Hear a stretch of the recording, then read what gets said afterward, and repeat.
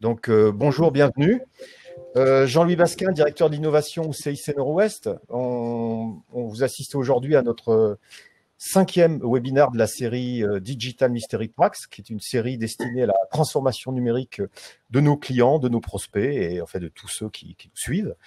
après avoir démarré sur des thématiques de croissance telles le SEO, telles le CRM, l'inbound, le marketplace aussi, nous nous attaquons aujourd'hui à une thématique passionnante qui s'appelle euh, l'expérience client, l'UX.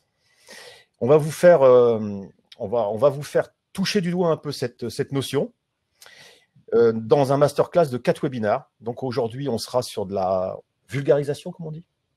Et pour nous aider à vulgariser, on a Rémi Bertin de Fidzi qui peut se présenter.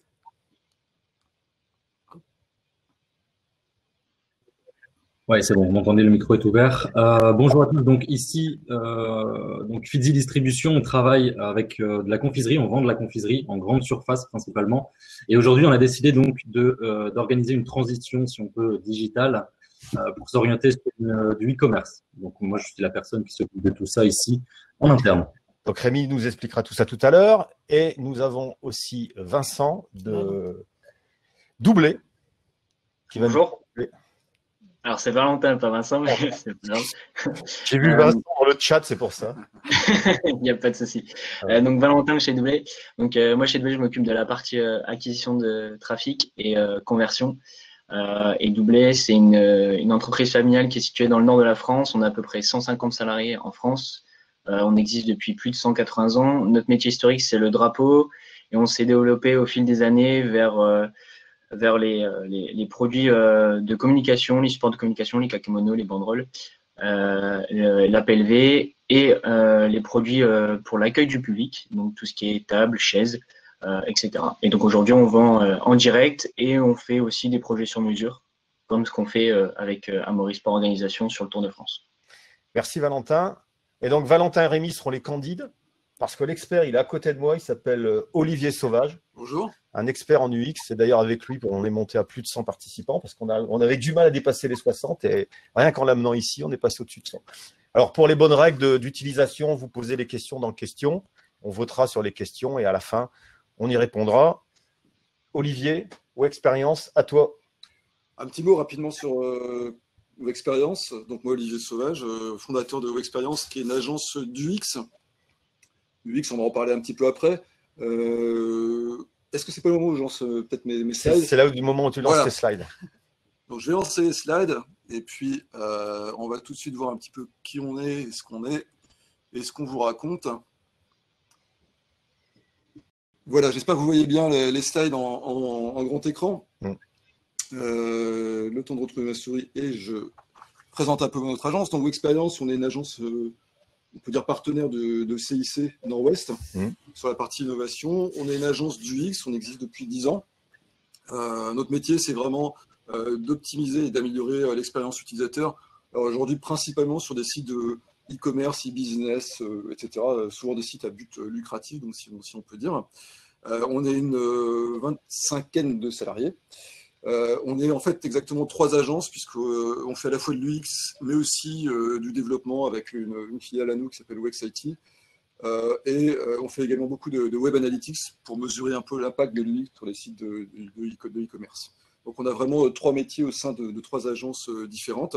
Et on accompagne essentiellement des, des grandes sociétés en fait, de tous les domaines en fait, du e-business. Donc euh, historiquement, on était basé dans le Nord, donc on était très spécialisé e-commerce, euh, textile euh, et mode, puisqu'il y avait beaucoup d'anciennes textiles dans, le Nord. Il y en a toujours encore, mais même si on a un petit peu moins. Et puis on est aujourd'hui, on travaille vraiment avec tous les secteurs, donc avec Doublé notamment, qui est un de nos clients, mais qui est aussi dans le textile finalement, avec le domaine, beaucoup de domaines des assurances, des mutuelles, des énergies avec GRDF, avec Total, du luxe, on a déjà travaillé avec Chanel, etc.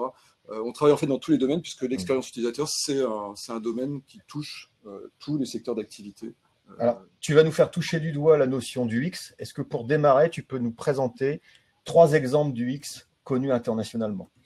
Ouais, euh, alors peut-être d'abord expliquer un petit peu la, notion du X, en fait, qui, pas, qui, devient de plus en plus complexe à expliquer, mais si on revient un petit peu en arrière, si on revient dix ans en arrière quand j'ai commencé ce métier-là, On parlait d'ailleurs beaucoup plus d'ergonomie qu'on parlait de, du X. Euh, je pense qu'il fait un peu mieux toucher du doigt ce que c'est. En fait, l'ergonomie, c'est vraiment la manière dont les, êtres humains interagissent avec les machines. Et in fine, pour nous, c'était la manière dont les gens interagissaient avec les interfaces, euh, notamment des, sites de e-commerce. Donc, euh, l'UX, c'est quoi? La user experience, en fait, en anglais. C'est vraiment le métier qui consiste à s'intéresser à la manière dont les gens parcourent un site web, la manière dont ils interagissent avec ce site web, alors, ce n'est pas forcément d'ailleurs qu'un site web, ça peut être aussi euh, une application euh, mobile, euh, ça peut être une interaction avec une borne. Ergonomique Voilà, ça peut être avec une, borne en, magasin.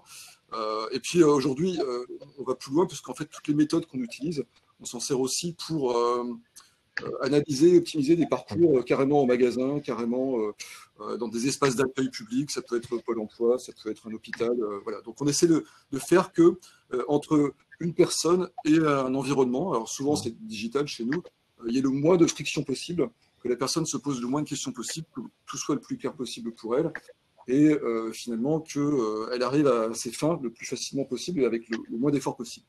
Donc en fait, je, je, je, chausse les lunettes de l'utilisateur dans n'importe quel moment du parcours. Voilà, et c'est justement là que j'en viens à cette histoire de, ces, ces, trois exemples qui sont emblématiques selon moi, qui sont que tout le monde connaît évidemment et qui ne sont pas non plus tout, nouveaux, mais en fait qui, traduisent vraiment la, réussite de l'UX au niveau business. Euh, puisque là, on a trois sociétés, euh, Apple, Google et Amazon, que tout le monde connaît parfaitement mhm. et dont tout le monde est utilisateur à peu près à 95-96%, euh, dont le, business model en fait est entièrement basé sur l'expérience utilisateur. quand je dis entièrement, j'exagère un petit peu, mais pourquoi je dis ça? Parce qu'en fait, c'est des business models qui sont basés vraiment sur ce qu'on appelle enfin, sur, ce appelle la, sur la notion de user-centric, en fait, sur la notion de centré utilisateur. Et euh, ces business models, en fait, euh, s'intéressent aux gens en partant du besoin euh, des utilisateurs pour développer et construire des offres de services ou des, produits. Et en ce sens-là, on a des, autant Google qu'Amazon que Apple ont vraiment basé la réussite de, leur business model sur ce, ce postulat-là, en fait, sur je regarde ce que veulent les gens, comment ils interagissent avec leur univers, qu'est-ce qu'ils font, de quoi ils ont besoin, et à partir de là, je développe quelque chose. Euh, si je prends l'exemple de l'iPhone, là on voit un iPhone 3 euh, qui remonte à 2006 à peu près. à l'époque, il y avait déjà beaucoup de. Les smartphones, ça existait déjà en fait, hein, quand on était dans, dans le domaine bancaire. Je pense que tout le monde avait un, euh, qu'on appelait ça un iPack ou euh, je sais pas quoi. Euh, à l'époque, c'était un téléphone à barillet. Hein. Ouais, non, quand même pas. Enfin, il y avait encore des BlackBerry, etc. Et mm. c'était des, machines qui étaient assez puissantes, mais qui étaient très très complexes à utiliser, mm-hmm. avec des claviers effectivement et avec un système d'exploitation bah, qui était Windows à l'époque, donc qui était qui n'était pas simple à utiliser. Puis finalement, qu'est-ce qu'utilisait ça? C'était souvent les cadres en entreprise. Et Apple s'est dit, mais il y a une opportunité de business ici. Mais si on veut que ça marche, si on veut que ces appareils euh, vraiment euh, puissent être adoptés par la masse, il faut qu'on reparte de l'utilisateur, donc du grand public, et donc de monsieur et madame tout le monde, pour créer euh, un appareil qui soit utilisable par monsieur et madame tout le monde. Donc ils sont partis de là, et avec les technologies déjà existantes, parce qu'au au fond, ils n'ont absolument rien inventé en fait. Hein. L'écran tactile, ça existait déjà, même si ce n'était pas très répandu en public. alors après, le système d'exploitation a quand même été très innovant, parce que par rapport à ce qui existait en 2006. Mais en repartant de l'utilisateur, ils ont créé en fait euh, un appareil avec, euh, euh, comment on appelle ça, avec un, environnement, en fait, un, écosystème d'applications, etc. Donc le fameux App Store pour coller vraiment aux besoins du, grand public. Et c'est là qu'est né l'iPhone, entre autres. Alors, il y avait déjà eu l'iPod avant, hein, il y avait déjà une première étape, mm-hmm. mais c'est ce qui a vraiment signé la réussite de, de, Apple, entre autres, parce que justement, ils sont repartis vraiment des besoins utilisateurs en disant voilà, comment on fait pour que ce qui existe déjà puisse vraiment bien mmh. fonctionner pour tout le monde Comme Google qui voulait une barre de recherche très clean, Exactement. où l'utilisateur ne se perdait pas. Mais tout à fait. Euh, Google, ils sont, ils sont apparus à une époque où il y avait, euh, il y avait une guerre des, moteurs de recherche et des portails de Yahoo, par exemple, où il y avait un portail où vous agressez où on avait euh, des tonnes de liens, il y avait de la publicité partout, etc. Et Google a dit, ben, en fait, les gens, c'est ce qu'ils veulent, c'est pas des liens, ce qu'ils veulent, c'est du résultat. Mmh. Et non seulement ils ont créé un algorithme extrêmement puissant, mais autour de ça, ils ont bâti une interface extrêmement simple avec juste mmh. un champ de recherche un bouton chercher et on avait les, résultats. Et les résultats, euh, Google est devenu ce qu'on sait tous bien aujourd'hui. Donc, euh, on voit bien que l'UX est très central là-dedans. C'est pas forcément la clé unique de la réussite, mais c'est extrêmement euh, important. Oui, c'est un peu le credo des réseaux sociaux aussi.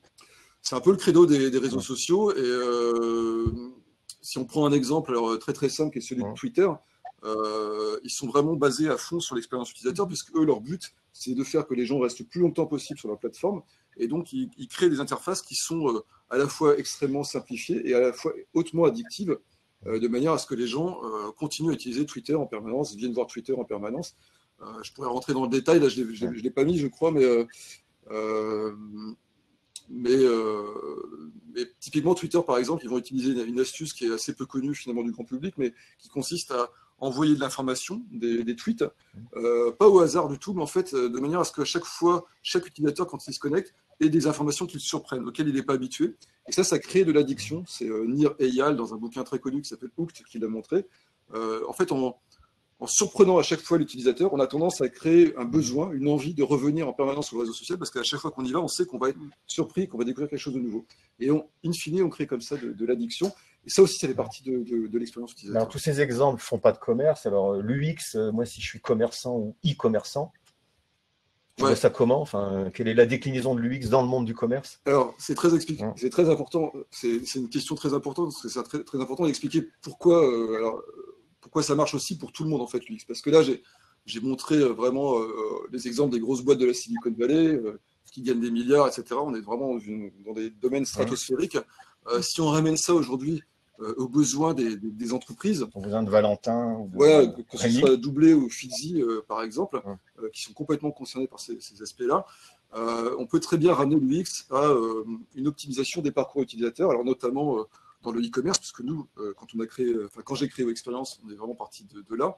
Et euh, il y a beaucoup de, bénéfices. On, verra un petit peu après mmh. comment on rentre dans la méthode, mais typiquement, si je prends le parcours utilisateur d'une cliente sur un site de e-commerce de mode, hein, je, peux citer Promode par exemple, parce que c'est un client et qu'on bosse actuellement avec eux, eh ben, on va se rendre compte que le X va permettre, un, d'augmenter l'attractivité sur le site, et ça mmh. c'est extrêmement important parce que quand vous êtes en mode concurrentiel sur le web où c'est très exacerbé, il faut que vous puissiez séduire très rapidement par l'image, et mhm. l'UX a un rôle à jouer là-dedans.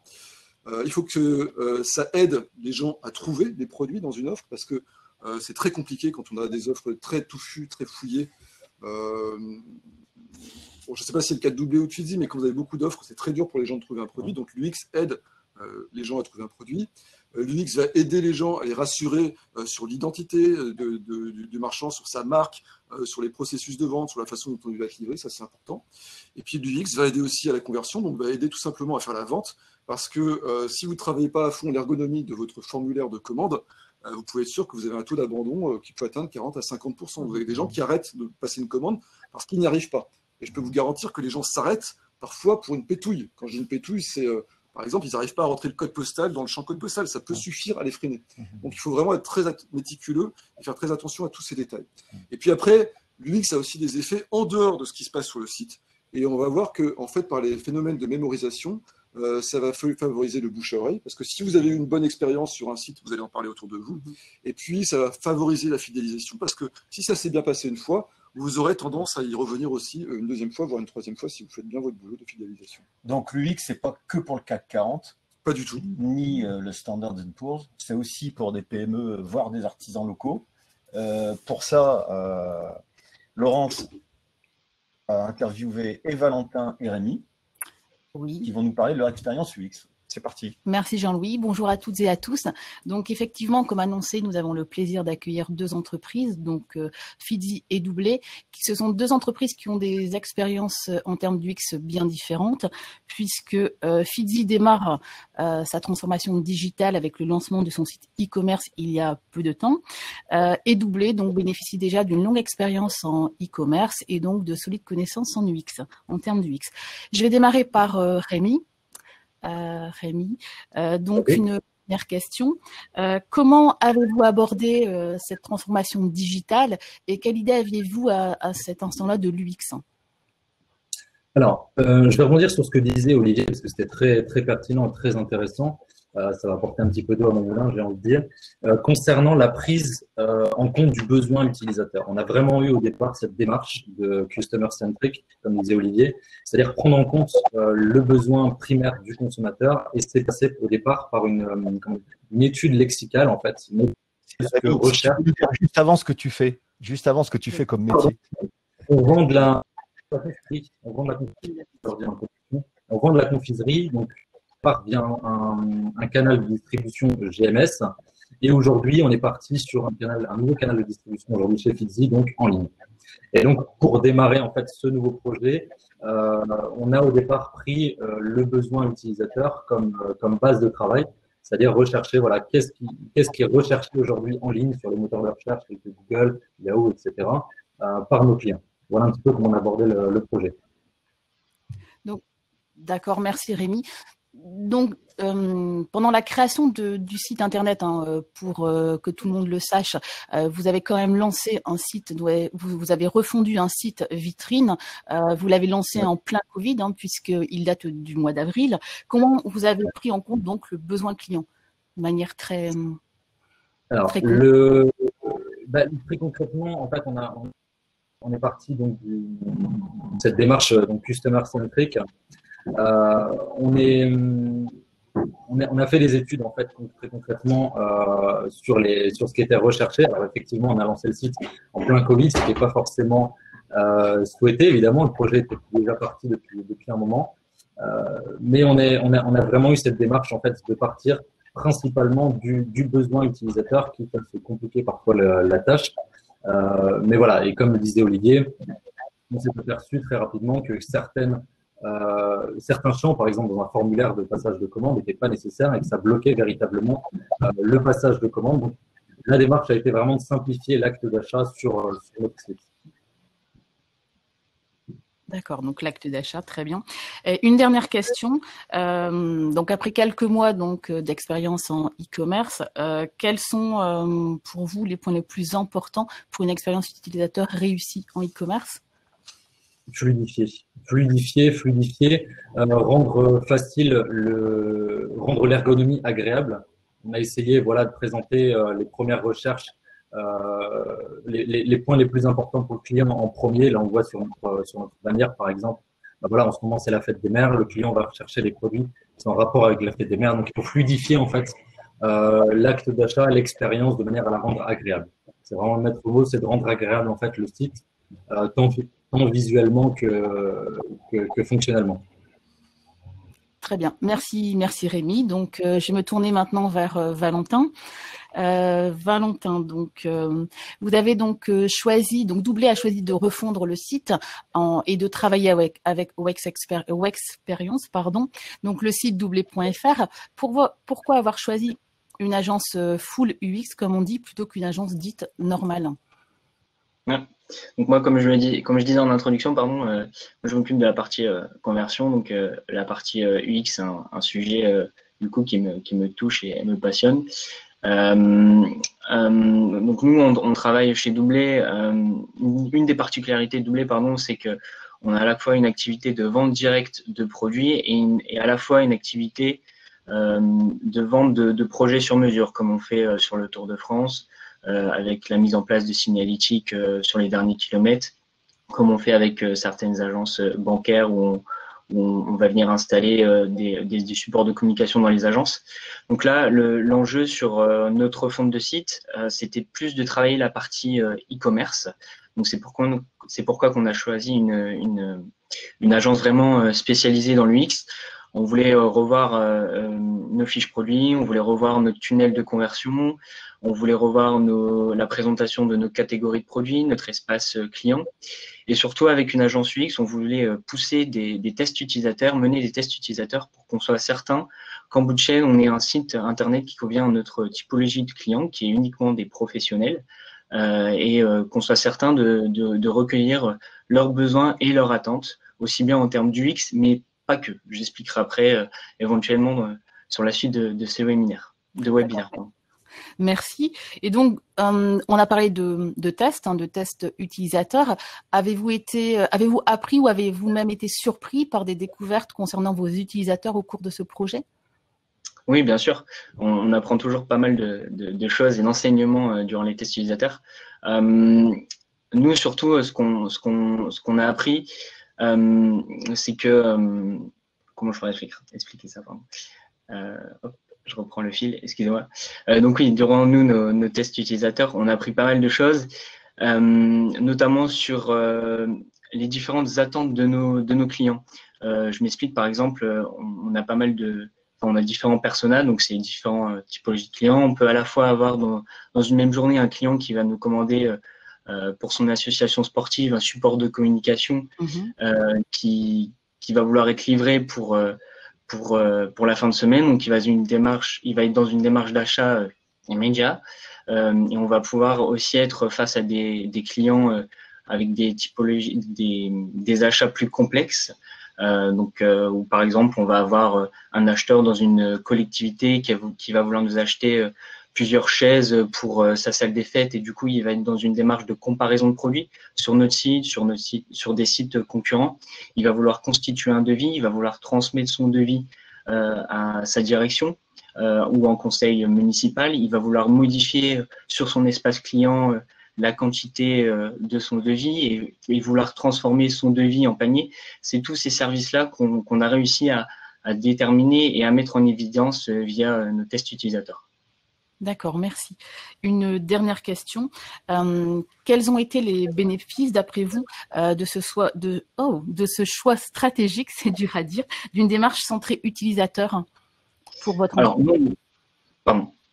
Donc nous, on n'a pas encore euh, mis en, ligne notre euh, refonte, simplement parce qu'on part vraiment du besoin utilisateur. Donc là, on est en train de créer des, services autour de notre site internet qu'on va ensuite pousser sur notre site. Et on ne fait pas l'inverse, c'est-à-dire que souvent, quand on, fait un site, on a, tendance à, à, pas mener de, tests et, euh, et on part de ce, que l'entreprise sait déjà, faire et des services qu'elle a déjà euh, mis euh, en ligne pour ses clients, comme par exemple le suivi de livraison ou, la personnalisation en ligne. Nous, on part vraiment de, on est vraiment parti des, des besoins de l'utilisateur pour créer des services. Et du coup, là, par contre, sur la, la version actuelle de notre site, donc celle qui est en train d'être fondue, on, suite au test utilisateur, on a déjà modifié des, pas mal de, des éléments de, on a déjà apporté pas mal de, de corrections par exemple sur le wording, par exemple sur l'arborescence produit. Donc l'arborescence produit, c'est comme dans, dans, dans un magasin, c'est la façon dont vous rangez vos produits sur votre site internet. Euh, on a pas mal amélioré cette partie-là suite au, test utilisateur. On a également rajouté quelques phrases de rassurance à des étapes clés euh, du, du, processus d'achat en ligne. Et, euh, et, déjà, ces corrections nous ont permis de gagner en taux de conversion et d'augmenter le panier moyen. Sur notre site internet. Super. Merci beaucoup, Valentin. Donc, je repasse la parole à Jean-Louis. Oui, donc en reformulant, euh, Rémi, euh, tu nous disais que pour démarrer même from scratch, vaut mieux démarrer centré utilisateur. Et une fois que j'ai un site internet, la, parole de, Valentin, c'est de dire revoyons tout mhm. sous l'angle du test utilisateur. Alors, test utilisateur, j'en entends parler depuis tout à l'heure et depuis le temps qu'on organise le webinaire, mais moi, je ne savais même pas ce que ça voulait dire. Euh, donc maintenant, on va rentrer un peu plus dans le vif du sujet. C'est quoi un test utilisateur, Olivier? Et pourquoi tu factures ça très cher? Ah, non. ah bah merci. euh, non, mais c'est important de, effectivement de, de, bien comprendre ce que, ce que c'est qu'un test utilisateur parce que c'est euh, vrai que moi, ça fait 10 ans que je fais ça, donc ça me paraît tellement évident euh, que on, l'explique quand même de moins en moins souvent à nos clients, mais toujours, on est quand même toujours obligé de l'expliquer. Un test utilisateur, en fait, c'est un moyen assez simple d'évaluer euh, la capacité d'une interface à, procurer une bonne expérience, on va dire, à des, gens qui utilisent un site internet ou, une application. Euh, en fait, le principe, c'est vraiment de dire, on va prendre un panel restreint de, personnes qui correspondent vraiment à la cible client. Par exemple, dans le cas de doublé, on va prendre des gens, bah, tu me confirmeras Valentin, mais on va prendre des gens qui vont être, par exemple, un directeur d'association qui a besoin de commander des, euh, je sais pas, des, drapeaux pour son équipe de foot. On va prendre, pourquoi pas, euh, un directeur des achats euh, qui a besoin de rééquiper, je sais pas, de, drapeaux, bah, tout, le décor de son entreprise. Enfin, on peut imaginer des choses comme ça. Ça peut être aussi juste un indépendant qui a besoin de se faire faire imprimer quelque chose. Donc, on va, on va prendre un panel de gens comme ça qui ressemblent de manière assez proche vraiment à la cible utilisateur. On va essayer de, de, modéliser cette cible. Alors, c'est un panel, quand je disais restreint, qui est, qui est vraiment restreint, puisqu'on est au grand max avec 12 personnes, donc c'est vraiment pas beaucoup. Mais euh, contrairement à ce que beaucoup de gens pensent, c'est largement suffisant en gros pour évaluer une interface. Donc on va prendre ces gens-là, et puis en fait, euh, individuellement, on va euh, avec eux parcourir un site ou une application ou n'importe quoi d'autre, en fait, selon un scénario bien défini. Donc on va par exemple tout simplement dire à quelqu'un, bah, tiens, rendez-vous sur le site de Doublé et achetez-vous on va voir après un exemple en vidéo, comme ça sera peut-être plus parlant. Achetez-vous une estrade, et puis, et puis voilà. Et, alors achetons une estrade. Alors achetons une estrade, je sais pas Sur le site de C'est un podium en fait. Hein. Un podium. Voilà, donc Bon, je ne pense pas que vous allez entendre grand-chose, c'est pas très grave parce que le monsieur qui est en train de tester, on l'entend pas beaucoup. Il fait que des clics en fait. Il fait que des clics, ouais. Mais là, on voit, on voit tout son parcours. Voilà, là en fait, on voit comment ça se passe. Alors, euh, il est devant l'écran d'ordinateur. Euh, il est un peu comme chez lui, en fait, on le met en condition pour qu'il se sente plutôt à l'aise. Et puis, en fait, il va, euh, bah, on va le laisser faire, en fait. On va pas lui dire faites comme ci, faites comme ça. On va vraiment le laisser faire. On va observer tout ce qui se passe. Donc là, on voit qu'il est en train de regarder le, produit en question, donc qui est un podium. Euh, ce que vous voyez aussi, c'est des petits points rouges avec des petits traits rouges. Ça, c'est le parcours oculaire. C'est-à-dire qu'on a la capacité de voir exactement à quel endroit regarde la personne sur la page. Ce qui est important pour nous parce que ça nous permet de mieux comprendre euh, ce qui est en train de se passer pour lui. Et puis en général, d'ailleurs aussi, euh, on demande à nos testeurs de parler. Il y a un protocole qu'on appelle protocole de pensée à voix haute, en fait, qui consiste vraiment tout simplement à, parler pendant qu'on navigue sur Internet. Moi, je le fais assez naturellement quand je suis tout seul chez moi. Euh, il y a des gens qui ont du mal, mais on leur demande de faire ça, et ça nous permet, nous, de vraiment comprendre ce qui se passe. Donc, si je résume, euh, le test utilisateur, je prends un panel significatif de 10 à 12 utilisateurs mm. du service qu'on va ausculter. Exactement. Et derrière, euh, j'essaye de modéliser un comportement moyen autour de ça. Exactement. Sur ces 12 personnes, on va finir par voir se dégager en fait des choses à la fois positives et à la fois négatives. les positives, c'est bien parce que ça nous rassure. Alors quand il y a mmh ça marche évidemment que s'il y a un existant, parce que s'il n'y a pas d'existant, on ne fait pas de test, mais bref. Euh, ça va nous rassurer sur ce qui est bien, parce que souvent, d'ailleurs, euh, beaucoup d'entreprises considèrent que leur site est nul. C'est assez marrant, parce qu'on nous appelle souvent en nous disant ah, notre site est nul, il faut qu'on le refasse, etc. Et souvent, euh, à force d'être le nez dedans, les gens ne voient plus les, qualités de ce site. Donc, ça, c'est aussi important de remettre les choses d'équerre. Et puis, on va aussi, parallèlement à ça, évidemment, détecter tout ce qui ne va pas. Et en général, c'est beaucoup de choses. Alors ça va de gros problèmes à des, tout un tas de petits problèmes, de rien du tout, mais c'est un peu la somme de tout ça qui fait que le site va être plus ou moins facile à utiliser. Et effectivement, en quelque sorte, on va moyenniser un peu ce comportement. Et puis de là, on va se dire, ben voilà, là, il faut qu'on retravaille le, consommateur ou le prospect moyen, voilà comment il se comporte devant Voilà comment il se, comporte. Il se comporte complètement. Mmh. Euh, ce, qui est, très intéressant dans ce que dit Olivier, c'est que notamment les, dans les tests utilisateurs, euh, la valeur ajoutée, c'est qu'elle n'est pas uniquement sur euh, l'amélioration de l'interface. Elle passe aussi, par exemple, chez nous, sur le, le, le, test que montrait Olivier, par exemple sur ce podium, ben, nous, on s'est rendu compte que nos fiches produits n'étaient peut-être pas forcément assez claires pour vendre ce produit, notamment sur la partie cross-selling. Pour vendre ce, podium, on a notamment besoin d'un chariot qui permet de le transporter selon les, événements.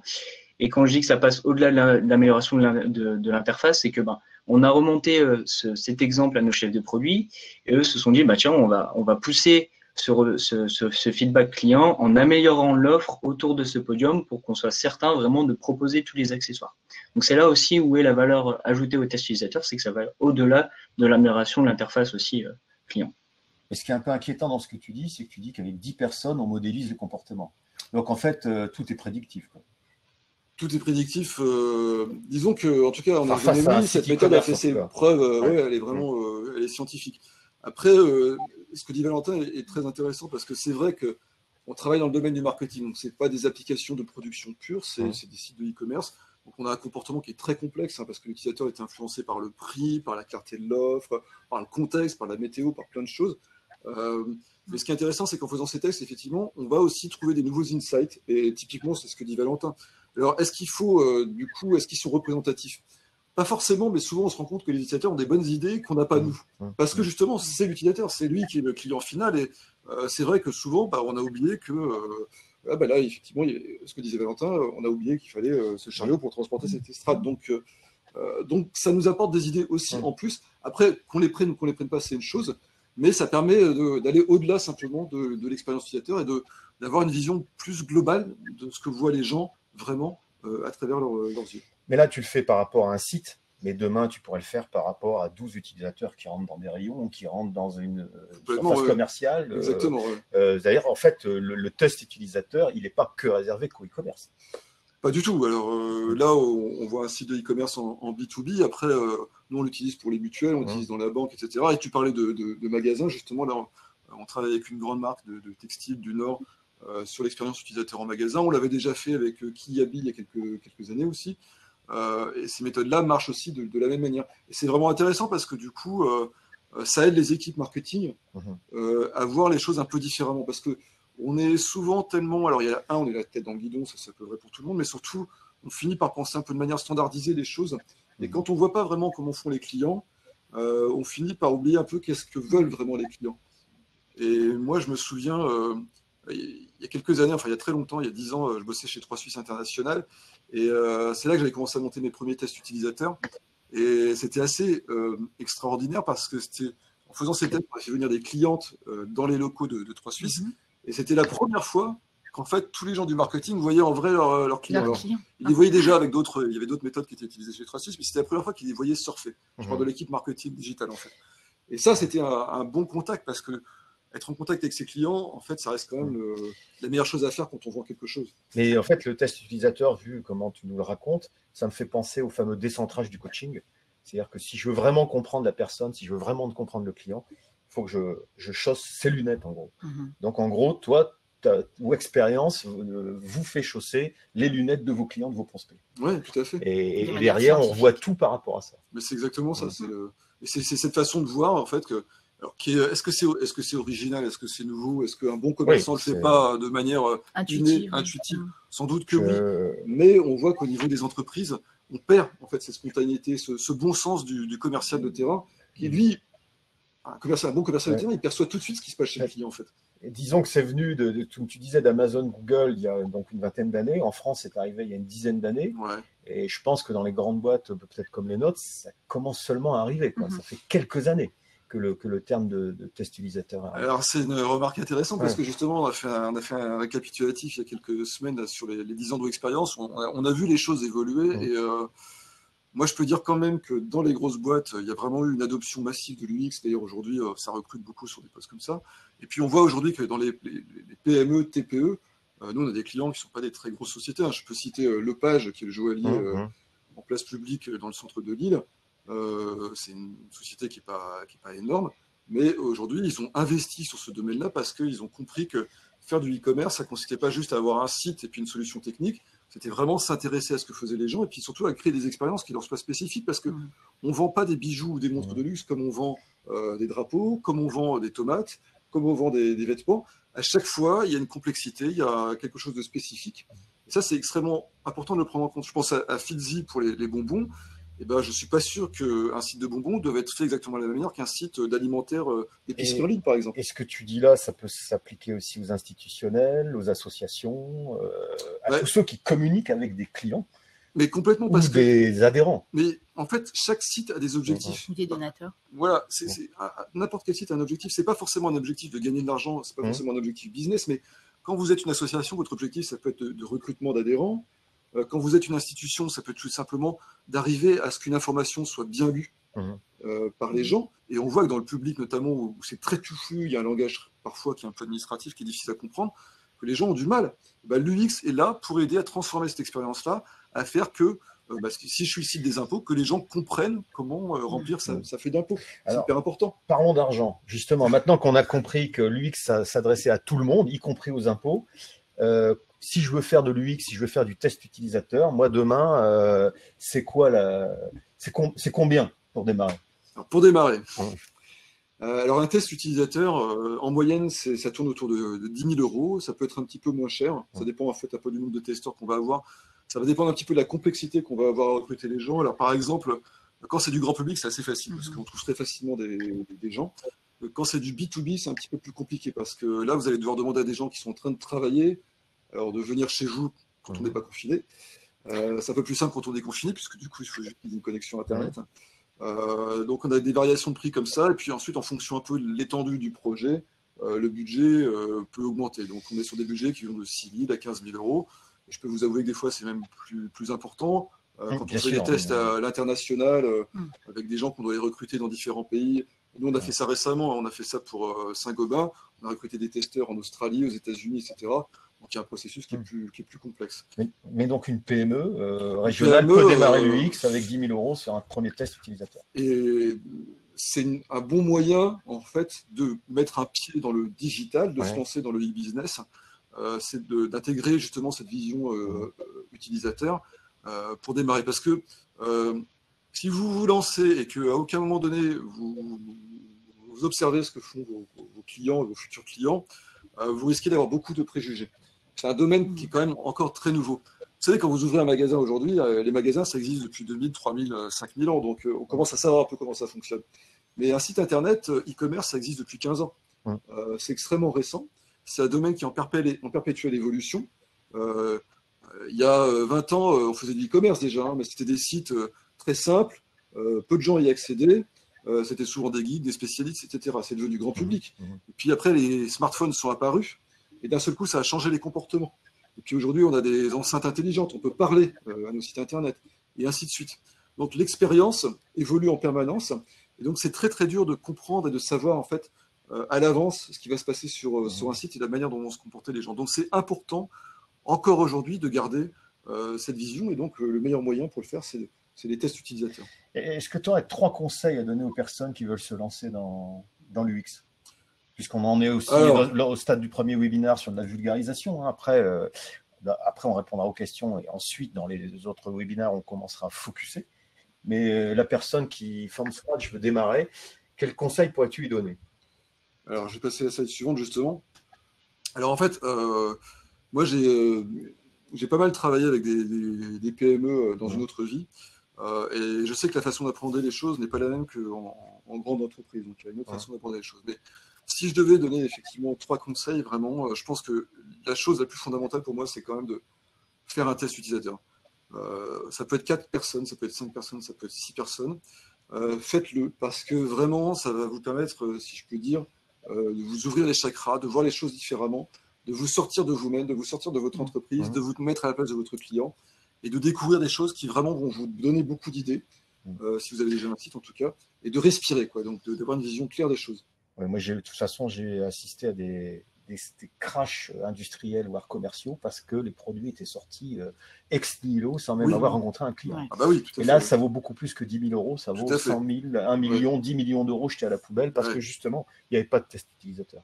Hmm. Bah, c'est euh, un des avantages des tests utilisateurs, c'est ça, c'est d'éviter ces crashs qu'on peut avoir. Euh, c'est vrai qu'en informatique, c'est assez ça arrive. Euh, on sait qu'on met des fois beaucoup de millions sur la table et on en perd aussi beaucoup parce que justement, on n'a pas fait assez d'évaluation pour les Mais on vient d'un monde où le 1.0, c'était j'impose ma façon de voir les choses. Ça, c'est les années 70, 80, 90, 2000, ça commence à bouger un peu. Mais jusqu'aux années 2000, euh, les sociétés françaises ne se posaient pas la question de comment le client allait réagir. C'est j'impose ma façon de voir les choses. Aujourd'hui, tu es en train de nous dire que c'est si je veux commercer, je dois faire complètement l'inverse. Oui. C'est ça. Exactement. Mmh. Euh, c'est exactement ça, parce que euh, aujourd'hui, euh, l'offre est tellement pléthorique, c'est-à-dire que que ce soit un client en fait, ou même un, employé dans une entreprise, c'est que finalement il a un choix tellement vaste qu'il va très vite partir vers autre chose. Hein. Il suffit de voir. C'est très simple. Hein. les employés d'une entreprise, s'ils sont pas satisfaits de leurs applications internes, ils vont switcher naturellement vers du Google, vers autre chose. Hein. Et, là, tu nous emmènes vers un autre webinaire qui s'appelle l'UI. L'UI, ouais. donc, les applications métiers. Qui est l'équivalent utilisateur interne. Donc ça, c'était le premier point vraiment euh, testé. Après, il y a tout un protocole à respecter. Euh, c'est important de dire quand même que euh, tester, ça ne veut pas dire juste demander à son cousin, sa cousine ou son papa, c'est vraiment de venir tester un truc. Mhm. C'est quand même plus compliqué que ça. Il y a un vrai protocole à mettre en place. Et ça, je pense que c'est important de, de, bien le garder en mémoire. Donc ça veut dire que d'aventure, si vous faisiez vous-même, apprenez à le faire parce que c'est pas si simple que ça. Il y a vraiment beaucoup de choses à, savoir faire. Deuxième chose qui me semble essentielle aujourd'hui, c'est penser mobile. Mhm. Pourquoi? Parce que euh, aujourd'hui, euh, on a parfois sur certains sites de e-commerce jusqu'à 95 voire 100% du trafic qui est mobile. La conversion se fait sur mobile. Et donc, euh, il est essentiel de créer son site en partant de la version mobile. Et ça, c'est vrai autant en B2C, où on a beaucoup d'usages mobiles, qu'en B2B, où on commence à avoir des usages mobiles extrêmement intenses. Ça, c'est assez nouveau quand même. c'est mobile en B2B, c'est assez récent. Il y a encore un an ou deux, j'entendais pas ça. C'est assez récent, mais en fait, on se rend compte encore une fois que les salariés esquivent les systèmes d'information de l'entreprise. Ah. et donc, on va, vont aller chercher, euh, vont passer par le mobile, en fait, qui a une, bonne, un bon échappatoire. Et donc, ça veut dire qu'effectivement, il faut pouvoir offrir des expériences mobiles. Alors, euh, on rentrera dans le détail plus tard dans les autres webinaires, mais une chose, par exemple, aujourd'hui devenue incontournable, qui me paraît naturelle, mais qui n'est pas forcément, c'est qu'on parle de sites responsifs, c'est-à-dire de sites qui sont capables à la fois de répondre à, à une exigence d'utilisation sur ordinateur, mais aussi sur téléphone. C'est le même site, mais qui fonctionne de deux façons, et qui va aussi fonctionner sur portable. Et puis si je pense un peu plus loin, demain, euh, c'est sans doute un site qui sera aussi capable de fonctionner euh, sur une enceinte intelligente. On peut imaginer ça. On n'en est pas très loin, donc euh, ça va finir par arriver. Donc il faut, voilà. Donc en tout cas, ce qui est sûr, c'est qu'il faut penser multicanal presque. C'est peut-être ce que j'aurais voulu dire, même si c'est déjà un sujet un peu complexe, la multicanalité. Et puis, Troisième chose, finalement, euh, qui est un peu euh, une redite du premier point, mais c'est toujours repartir de vos utilisateurs. Euh, je crois que Rémi l'a bien souligné avec Fizzy, c'est qu'à un moment donné, si vous ne vous intéressez pas à ce que veulent les gens, vous allez sans doute vous tromper, ou en tout cas partir sur des fausses pistes. Et donc savoir ce que veulent les gens, bah, c'est typiquement, si on parle de confiserie en ligne, bah, c'est déjà d'aller voir ce que, ce que, font vos concurrents, parce qu'ils ont déjà sûrement pensé, pensé à la question. Puis c'est aussi de demander aux gens, mais pourquoi vous allez acheter des bonbons en ligne? C'est vrai, c'est une vraie question. Alors, euh, pendant le confinement, je peux comprendre, puisqu'on a tous été un peu contraints. Euh, mais euh, moi, j'avais une discussion avec Rémi, hein, je ne sais pas si tu confirmes, mais on en avait parlé. C'est pas forcément que pour, c'est pas que parce qu'on a un confinement qu'on va acheter des bonbons en ligne. Il y avait d'autres raisons. Je ne sais pas si tu peux dire un, mot là-dessus, peut-être. Non, effectivement, c'est vrai que vrai que moi, quand je suis arrivé un petit peu à Fidi pour présenter le projet de, de, créer finalement ce, nouveau canal de distribution en disant mais qui va acheter de la confiserie en fait en ligne? Et on se rend compte qu'effectivement, on a, on a toujours beaucoup de, beaucoup de clients. Tous les jours, on remplit nos objectifs. On a à peu près, euh, quotidiennement, en fait, on a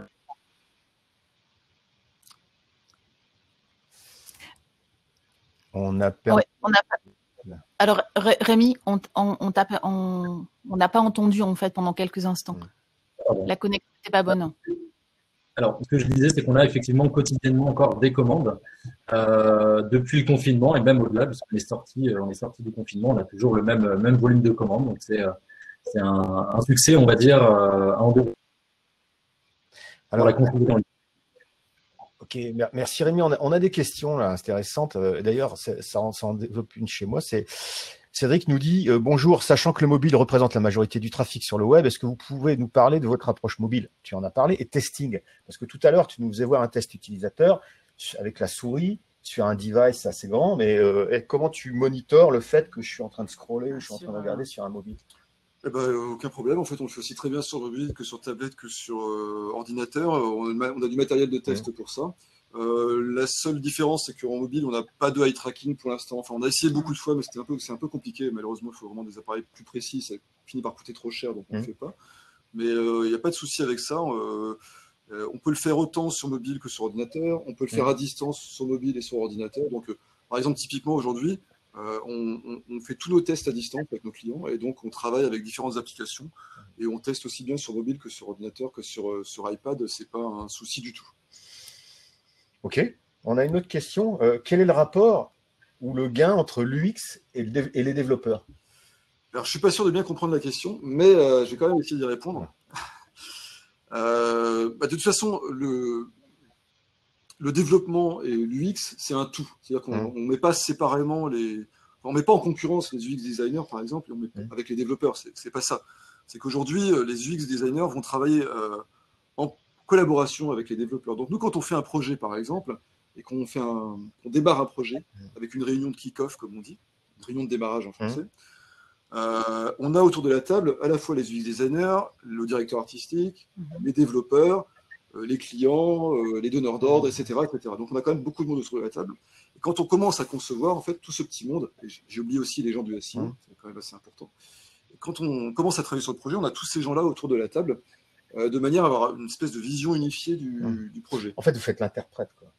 En fait, l'UX, il est un peu au centre de tout. C'est la liaison entre le réel et, la technique. On est le pont entre, euh, entre tous ces métiers-là et on essaie de faire que euh, tous ces métiers rentrent les uns dans les autres comme ça, un petit peu comme des mhm. briques Lego, de manière à proposer la meilleure offre. Parce qu'au final, ce que l'utilisateur va voir, lui, l'utilisateur, il va pas voir le code du développeur. Alors même si le développeur a super bien codé, je connais aucun bah, utilisateur qui arrive sur un site et qui dit Ah, génial, comme c'est bien codé. On a plein d'exemples de produits développés par des techniciens invendables d'ailleurs. Mm. Exactement. Donc, euh, euh, si on laissait que les développeurs faire, on aurait des sites très durs à utiliser, ou alors, des sites faits pour les développeurs. Oui, bien sûr. Bon. Alors, tout le monde n'est pas développeur, donc ça ne marche pas pour tout ça, ça, boucle sur, justement sur Apple et sur le. Exactement. Apple, c'est des gens qui, justement, ont réussi à faire bosser tout le monde ensemble de manière à offrir une expérience unique, mais en fait, en, dessous de cette expérience unique, on a plein de métiers qui mmh, mmh, collaborent. Mmh, et donc, il n'y a pas de concurrence entre UX et développeurs ou, designers. Euh, on a une collaboration. Et ce qui est très difficile à faire, finalement, dans ces projets-là, c'est d'arriver à faire travailler tout le monde ensemble. Et honnêtement, c'est pas évident. Donc, euh, c'est un vrai challenge. une troisième question. Le M-commerce, c'est 1% de taux de transformation. Quel est le gain potentiel de UX travailler sur ce taux? Très bonne question. Alors mmh. effectivement, il faut déjà rappeler une chose, c'est que euh, en e-commerce, hein, commerce de détail B2C, en moyenne, ce qu'on appelle le taux de transformation, c'est-à-dire le nombre de gens qui achètent sur le nombre de, visiteurs, euh, va osciller entre 1 et 5% Alors des fois c'est moins, des fois c'est un peu plus. Plus vous êtes sur un site de niche et, du haut de gamme, plus votre taux de transfo va être élevé, plus c'est généraliste, plus va être bas, etc. Ça c'est pour le desktop. Et effectivement, sur mobile, on est sur des taux beaucoup plus faibles euh, qui vont être divisés quasiment par 5, par 6, voire par 10. Euh, pourquoi? Alors, pour deux raisons essentielles. Il y en a une, c'est que euh, l'ergonomie sur des smartphones, bah, elle, est, elle, est, complexe. C'est pas facile à utiliser un smartphone. Mhm. En fait, on a toujours l'impression voilà, que c'est simple. En fait, non, c'est beaucoup plus compliqué parce qu'on est obligé de mettre beaucoup plus d'informations sur un petit écran, donc c'est pas simple. Et puis, la deuxième raison, et là, elle est un peu extra ergonomie, c'est qu'en fait, encore aujourd'hui, on a quand même pas mal de gens qui aiment bien regarder sur smartphone et qui terminent leur commande sur euh, desktop. Mhm. Pour des raisons qui sont euh, très psychologiques. Euh, d'abord, ils ont peur de, se faire voler leurs données sur téléphone. Et puis, il faut payer surtout. Il faut payer à la fin. Ouais, il faut payer. et, en fait, quelque part, ils sont rassurés de le faire sur l'ordinateur. maintenant, est-ce que l'UX permet d'améliorer ça? Oui, nettement, parce qu'il y a beaucoup de sites où, en général, la version mobile est très mal faite. Donc, ça dépend un peu du niveau où vous en êtes. Mhm. Et après, aujourd'hui, il est clair qu'il y a pas mal de gains à obtenir. Alors, je dirais à la fois sur l'amélioration de l'interface, et aussi, alors euh, c'est moins dit, mais il faut dire quand même, c'est sur l'amélioration, l'adoption de bons systèmes de paiement. Parce qu'il y a des systèmes de paiement. Euh, alors je suis, je suis sûr c'est notre webinaire du 9 juin. Super. C'est notre webinaire du 9 juin, c'est les systèmes de paiement justement sur les sites et le Voilà, et ça, ça, Donc, euh, venez nombreux. Voilà, sur mobile, c'est un enjeu capital parce que plus votre système de paiement est simple, plus vous augmenterez votre transfo. Et aujourd'hui, on sait qu'il existe des solutions qui vraiment favorisent la transfo. Et d'ici quelques années, euh, ça devrait finir par arriver. On va avoir des identifiants uniques à peu près pour tout le monde. On devrait presque sauter un peu cette phase de paiement. Elle existera, mais elle deviendra assez indolore. Je rebondis sur une question qui vient d'arriver. Euh, est-ce que tu sens des différences de comportement euh, sur site ou mobile suivant les générations? Oui, bien sûr. alors, comportement, d'accord. suivant les générations. Alors oui, alors, alors ce qu'il faut dire ce que je vais vous dire d'abord, sans surprise, c'est qu'évidemment, si on prend des gens de plus de 65 ans, 70 mm. ans, on va avoir des gens qui vont avoir du mal, c'est clair. Mm. Euh, si, on prend, on prend des jeunes sans mobile, effectivement, ils vont être plus à l'aise. Mais en fait, il faut aller au-delà de ça, parce que si vous restez dans cette idée préconçue des choses, euh, vous allez vous tromper. Mm. Parce que sur certaines populations, c'est pas vrai. Notamment, euh, les seniors, par exemple, sont des gros acheteurs de, tablettes. Et donc, ils vont être assez. Voit plus grand. Voilà, c'est plus grand, c'est plus léger, c'est plus convivial, et du coup, ils vont être utilisateurs de tablettes. Et donc, euh, bah, ils vont être parfois plus à l'aise sur tablette euh, pour, sur certains sites. Et puis après, on a des jeunes, à contrario, euh, qui vont être très mal à l'aise sur des sites internet un peu classiques, des sites de e-commerce. Pourquoi? Parce que c'est des gens qui n'utilisent que TikTok, que Insta et que je ne sais pas quoi, que je ne connais pas, pour les jeunes. Et en fait, dès qu'ils vont se retrouver face à une complexité, parce qu'il y a une réelle complexité sur les sites de e-commerce, vont être perdus. Et ça, ça plaide vraiment en faveur de la conduite de test utilisateur. Parce que même si euh, votre cible, c'est uniquement des, jeunes, par exemple, hein, euh, mm. vous pouvez imaginer, vous êtes une marque de vêtements, euh, Nike. Celio. Celio. Je sais pas si Au hasard. Celio, non, c'est plus jeune. C'est plus tellement pour les jeunes. Mais, on va essayer de trouver une. HM, voilà. HM. Et ben, testez quand même, parce que vous allez avoir des surprises.